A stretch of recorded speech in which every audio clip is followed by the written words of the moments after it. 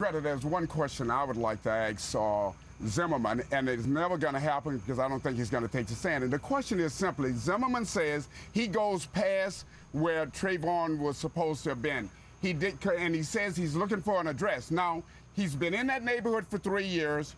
He is a neighborhood watch person, and I would love to ask him, Mr. Zimmerman, you've been in the neighborhood for three years. You're a neighborhood watch person, and you want me, the jury, to believe you don't know what I, I, street I, it is? I mean, I don't, I don't know, Ted, but I tell you, we did wind around there many times. All those houses look exactly alike, and it's Circle around and upon around. circle so upon it is, it is pretty confusing now. Now, I haven't lived there for three years, but Yeah. I mean, the place is, is very confusing. So I don't know.